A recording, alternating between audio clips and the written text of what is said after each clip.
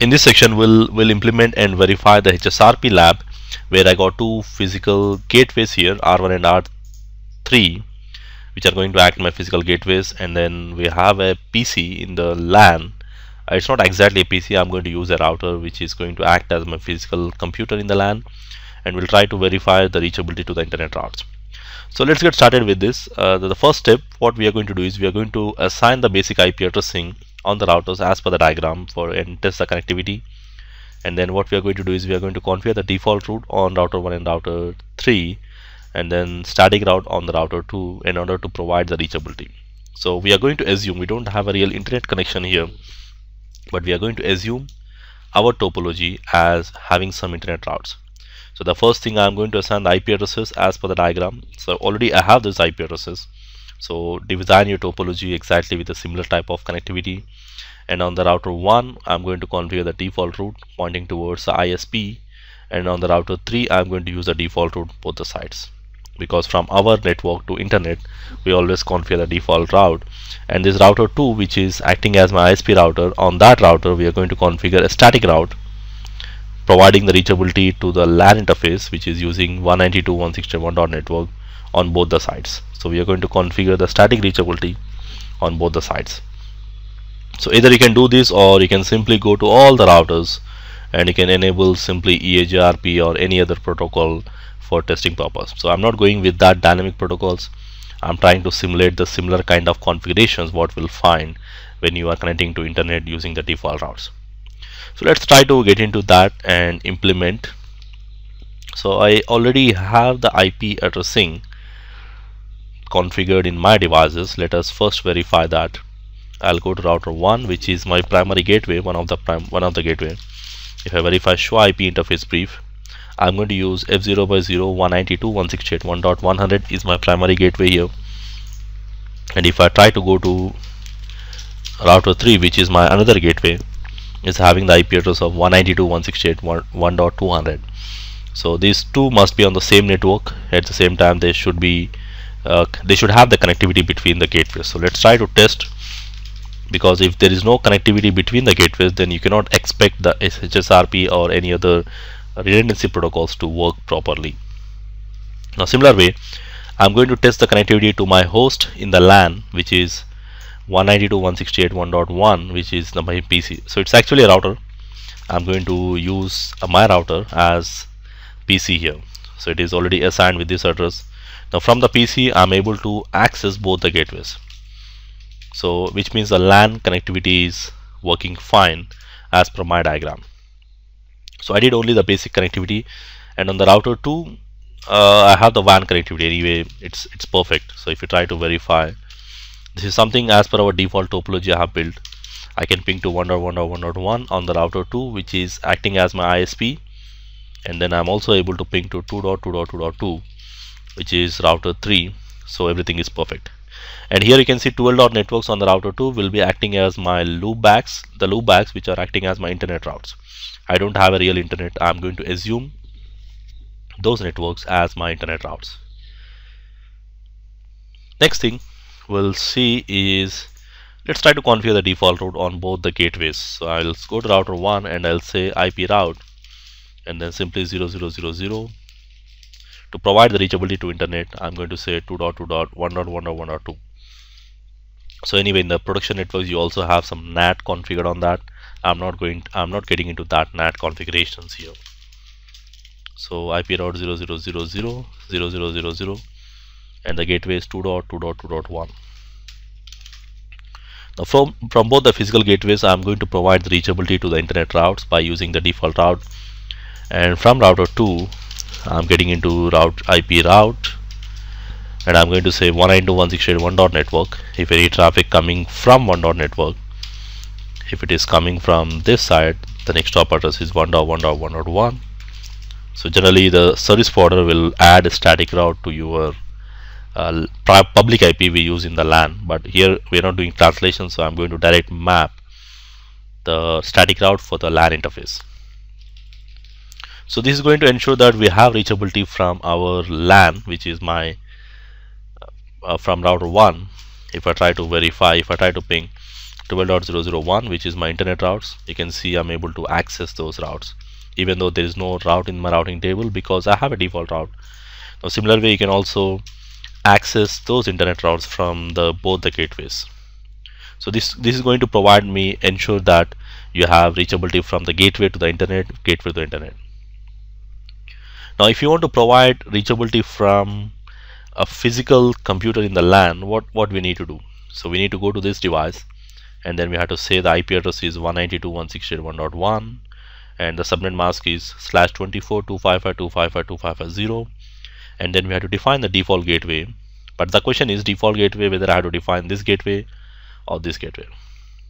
So if I define the gateway as 192.168.100 uh, let us see. So all the traffic will go via this gateway. And if I define the gateway as 192.168.2.1.200 all the traffic will go via like this which I really don't want. I don't want to use any of the physical gateways. Instead I'm going to configure uh, a virtual gateway which will be 192.168.1.150 will be my virtual gateway which is a combination of these two. And I'm going to configure this by using HSRP protocol initially so let's let us try to get into some HSRP configurations so before that uh, I'll show you some some basic things like if you're testing this on a GNS program or if you don't have a physical computer so probably you can try a router to act as a PC here. Now I'll show you those configurations. So by default router 4 is a router. Router 4 is a router right? So any packet comes to the router. If we, if you just go and check show IP route by default it has some routes now here if I try to ping 12.001 you will not see the reachability will be established because the reason is this is just a router. So now what you can do is you can either add a default route on router 1 so you can simply add a default route IP route 0000 also or you can just make a router to act as a PC by using no IP routing so when you say no IP routing means automatically routing table will be disabled. And then I'm going to say IP default gateway. Default gateway I'm going to say any one of the gateway. Let's say I'll, I'll give 192.168.1.100 as a my gateway. Anyway I'll change it to virtual gateway later on. So now if I if I verify my routing table I don't have a route. So now any traffic comes it will automatically simply forward this to the gateway. Let's say now I will try to ping 12.001 which is now this is just behaving just like an host in my network. So if you see here I'm able to ping. So if I try to trace 12.001 now this is my PC whenever this PC realizes that this is uh, it belongs to 192.168.1. network and the destination address is on a different subnet it's going to simply forward the packet to the gateway that is router 1 and router 1 simply forward the packet to ISP now this way we are going to test our lab here. Now what I'll do is I'll change the gateway address no IP default gateway which I configured as 192.168.1.100 I'll remove that and then I'm going to configure it as 192.168.1.50 so I'm going to change it as uh, 1.50 okay so I, I just removed it so IP default gateway. Okay 1.50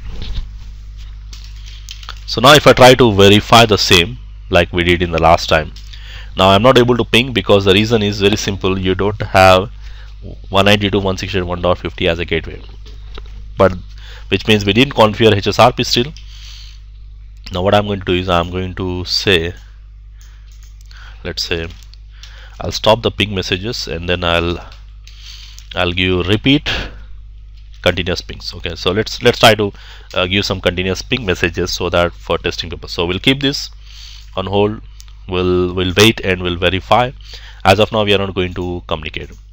So let's try to configure HSRP on router 1 and router 2 with a virtual IP address 192.168.1.50 let's say I'm going to interface word so now to configure any of the HSRP commands you need to go to the interface which is connecting to the LAN. Remember that. So all the HSRP configurations comes on the interface mode and that too the interface which is connecting to your LAN interface. Now in my scenario it is f0 by 0 so I have to go to f0 by 0 and all the commands relating to HSRP starts with standby. So if you remember standby now you can always use question mark to find the next possible options now in that the first option is the group number. Now I'm going to I need to define mandatory a group number. Any number I can use. Let's say I'm going to use 1 3 any number you can use. And then after that let's say I'll, I'll make it simple as 1 group number. And then the first option you have to say is IP now what is the virtual IP we decided? So what is IP we decided? 192.168.1.150 so these two gateways at the same time the virtual IP must be on the same network in order to have a proper HSRP functioning. So if there are in different networks they will not work. Done. So I just configured it. Now this is only one command we need to do. And the same command I'm going to do on the other gateway that is what is my other gateway? Interface. F0 by 0 standby. Group number one. And this group number must match on both the sides. Remember that.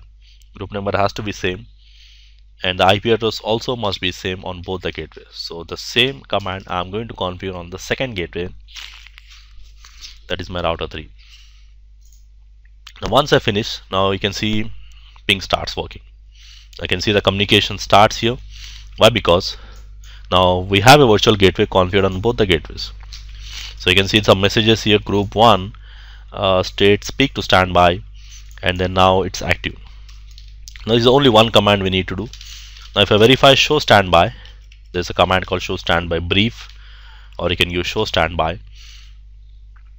Now you can here you can see a lot of options.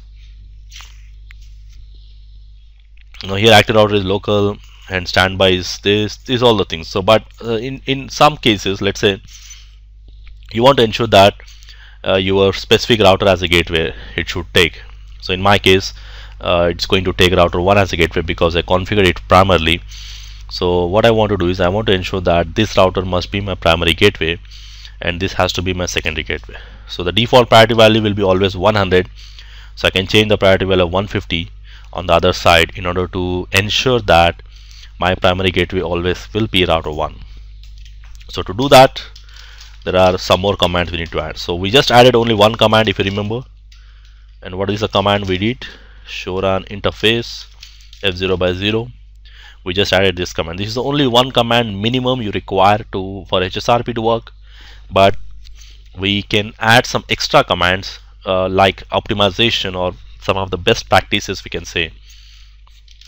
So I'm going to say specifically if you want to make any specific router as a any as a primary gateway then we can change the priority value to some number anything higher than 100 works here so I'm going to make it as 120 okay so if I'm not going to do anything on the router 3 which means it is going to take the default 100 and router 1 is going to take 120 so now if I verify show standby now here you can see the timer state is active and the virtual IP address is this. I'll come to this output more in detail in the next once we figure out all the commands. And you can see uh, preemption is disabled. I'll come to this option again. Active router is local. Standby is 200 and the priority value of the standby is 100 and my priority value is how much? 120 which is configured. Okay.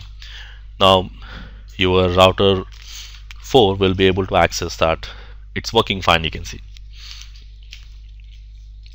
Because through they are going through virtual gateway. So if you try to trace 12.001 the trace packet will show you that the traffic is going via primary gateway because uh, as per the primary gateway because when you tr trace it's not going to show you as 192.168.1.50 it's still going to show you as 1.100 which is my router 1 now next thing we'll do some more commands. Let's say let's try to understand the behavior of preempt. By default these HSRP elections are non preemptive